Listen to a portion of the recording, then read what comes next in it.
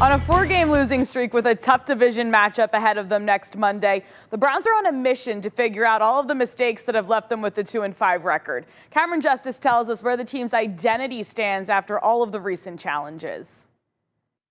I just really do have faith in the, the people in the building, you know, top down. I, I really do um, have faith in those guys, have faith in my, my teammates.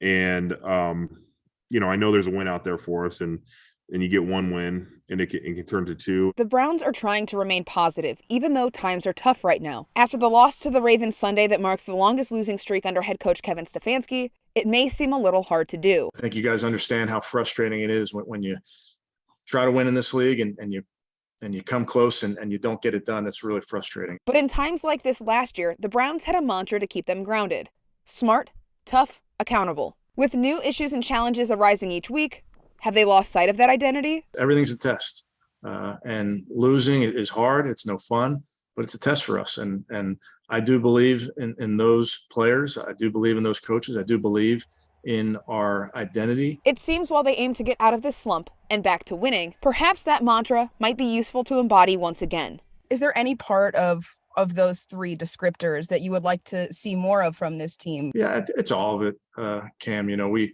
we want to be smart. We want to be tough. We want to be, you know, accountable to each other. We want to be a resilient team. It's, it's who we are. Um, and again, you're going to get opportunities. We got a great one uh, this week coming up versus a really good football team at our place. In Cleveland, Cameron Justice, News 5.